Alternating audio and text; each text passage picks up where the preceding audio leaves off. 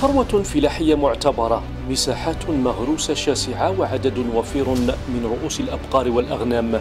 ذلك ما يميز النشاط الفلاحي ببرج بوعريريج نشاط يشهد حركية متنامية.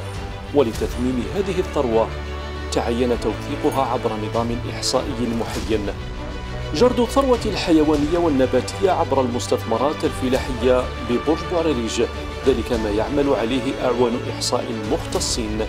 تسمى الدولة تسمى راح تبني على تبني على هذه الأرقام اللي راح نمدوها إذا كانت إذا كانت إذا واش كاين إمكانيات مادية بشرية؟ واش كاين مساحات مزروعة؟ واش كاين أراضي بور؟ واش كاين آه، رؤوس أغنام؟ بهذه الأرقام هذه راح راح الدولة راح تبني عليها سياسات مستقبلية.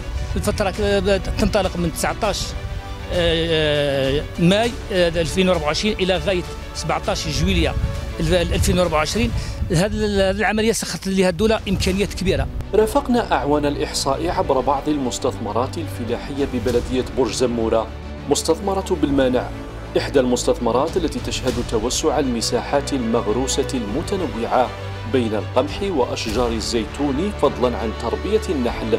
صاحب المستثمره يثمن عملية الإحصاء التي شملتها.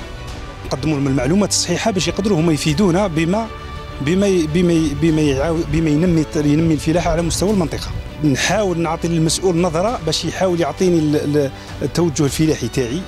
والله المجال اللي نمارس فيه النشاط الفلاحي يعطيني المجال الصحيح اللي يقدر ينجح لي في المكان اللي راني فيه وعلى حساب الموجودات اللي عندي.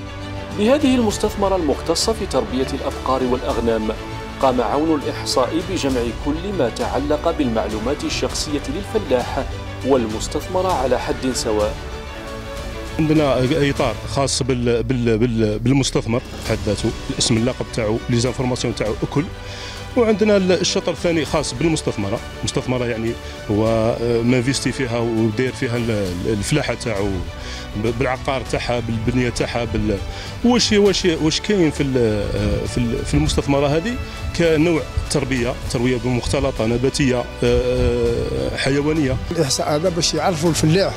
الفلاح بإمكانيات تاعو واش عنده واش ما عندوش واش من واش ينتج واش راه يخدم آه، من حبوب ولا من أشجار ولا من من الاغنام ولا إمكانات مادية وبشرية سخرتها الدولة للإحصاء الفلاحي عبر الوطن.